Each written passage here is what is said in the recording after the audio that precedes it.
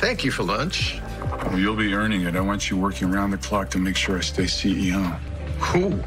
Well, that's the reason for this little repast. Maybe I should order myself the thousand dollar caviar burger with gold leaf. You know what gold leaf tastes like, Martin? It doesn't. You're better off with a frittata. So says the last of the big spenders. In that case, I think I'll get myself a doggy bag, eat the burger alone, and bill you anyway. You don't have to finesse me into doing my job. Martin, there is one last thing we need to discuss. Why, yes. My lovely Lucy and a pivotal 1%. I told you she's already promised it to you. Yes, she has.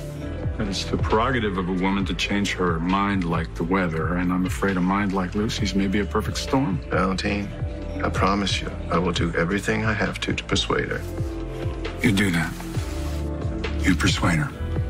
And once Lucy and Ned help keep me on as CEO, and those who think they can control me will be in for a hell of a reckoning. I step